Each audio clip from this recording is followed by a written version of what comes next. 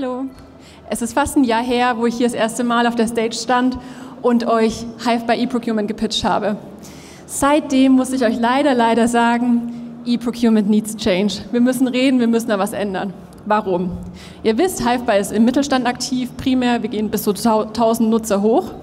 Und was wir sehen, ist eigentlich, sobald wir implementieren, müssen wir Shops anbinden. Shops, Shops, Shops.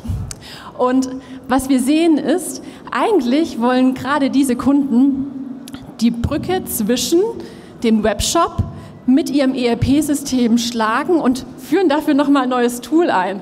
Und das kann doch irgendwie, hä, warum machen die das?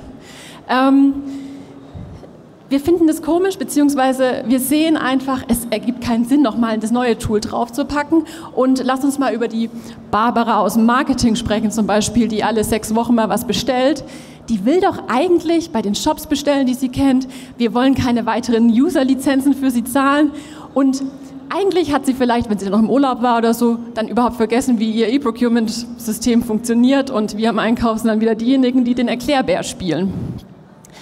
Ähm, jetzt haben wir uns gefragt, hey, wie können wir das ändern und wie können wir, was können wir machen, damit das ganze Ding besser fliegt, die Barbara in unserem Beispiel ähm, zufriedener ist und wir trotzdem alle Daten bei uns haben und haben uns gefragt, hm, ERP-Zugänge für alle, ich glaube, wir sind uns einig, dass wir das lieber nicht haben wollen und irgendwie die gute Barbara, die vielleicht schon mit der E-Procurement-Lösung ein bisschen überfordert ist, gegebenenfalls oder Erklärung braucht, äh, nochmal auf unser ERP-System loszulassen. Dann haben wir uns überlegt, hm, es gibt ja eigentlich Shops, bei denen man schon Freigaben hat, die wir super gut integrieren können. Wir wissen alle, wie wäre es mit Amazon Business für alle? Und wir kennen wahrscheinlich jemanden, der sich darüber richtig freuen würde, nämlich der gute Herr hier, damit er mal wieder ins All fliegen kann. Ist ja auch nicht unbedingt das, was wir wollen. Und vor allem, die Warengruppen sind ja nicht unbedingt verfügbar, also beziehungsweise Amazon hat ja nicht alle Warengruppen.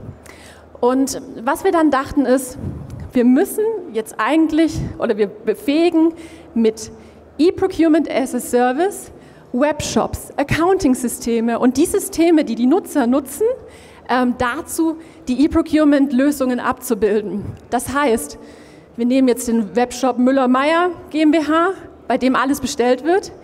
Wir haben ein kleines Stück Code, das wir dort integrieren und auf einmal haben wir Freigaben, ERP-Integration, einen Marktplatz für euch als Endnutzer komplett kostenlos Barbara bestellt weiterhin bei ihren Lieblingslieferanten und sieht gar nicht, dass es weitergeht.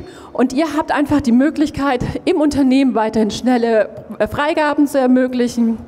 Natürlich haben wir da auch eine kleine KI-Piece, worüber wir später noch sprechen können. Ihr könnt wiederkehrende Bestellungen einfach direkt in dem Shop, in dem bestellt wird, abbilden könnt alles in eurem ERP haben und die Freigaben finden dann nicht nochmal im nächsten Tool statt und es muss nochmal ein neues Tool eingeführt werden.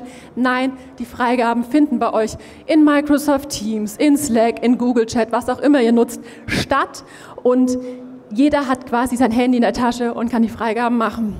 Gleichzeitig gibt es natürlich auch noch einzelne Marktplatz-Pieces, die dann integriert werden können. Wie sieht das aus?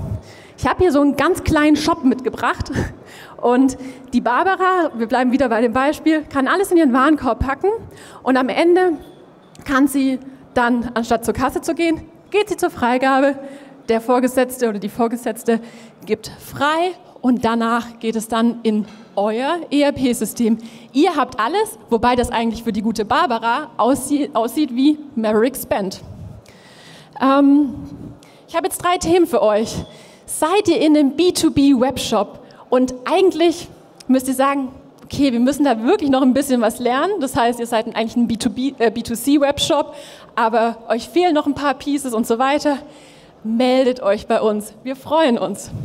Oder ihr kennt Lieferanten, mit denen wir mal reden sollten, weil wir wissen, äh, weil ihr wisst, dass die super schlecht angebunden sind, deren Shops sind einfach nicht gut. Da würde so eine Freigabe helfen, eine Integration in euer Coupa, Riba, SAP, was auch immer. Sagt uns die, beziehungsweise wir haben bei uns am Stand, der ist da hinten rechts, daneben gibt es Eis, kleiner Tipp, ähm, haben wir eine kleine Box, wo ihr auch sehr anonym eure Tipps loswerden könnt und wir gehen dann die Lieferanten an. Oder ihr sucht einfach noch nach einem schlanken E-Procurement, wie es Hive bei immer noch ist und immer noch sein wird. Kommt auch bei uns vorbei. Wir freuen uns auf euch. Vielen Dank.